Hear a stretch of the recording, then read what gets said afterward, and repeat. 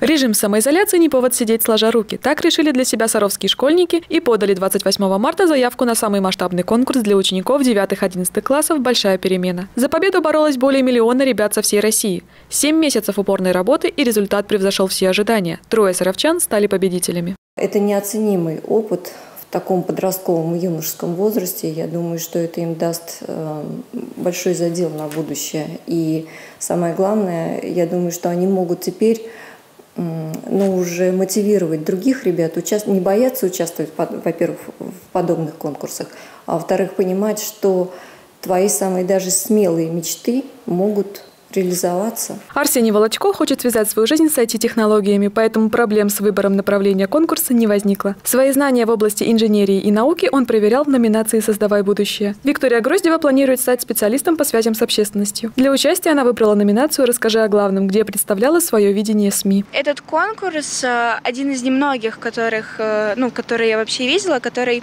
э, делает акцент не на так называемые hard-скиллы, то есть профессиональные навыки, а на софт-скиллы. То есть э, коммуни... уровень коммуникации, проектная деятельность, навыки проектной деятельности.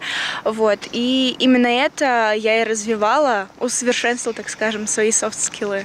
Екатерина Торопова не видит свою жизнь без творчества. Она занимается танцами, вокалом, а также окончила художественную школу. Ее выбор пал на номинацию «Твори». Помимо основного конкурса, девушка прошла кастинг на мюзикл «Большая перемена. Будущее начинается с тебя». Подготовка к нему проходила дистанционно. На сцене ребята встретились только за три дня до премьеры, которая состоялась 1 ноября на Артек-арене. Дети, финалисты, это же было для них все, чтобы они поняли такие важные вещи, как дружба, точнее, насколько важна дружба, насколько важно добиваться своих целей, находить выход из любой ситуации, даже из той, из которой, казалось бы, нет выхода.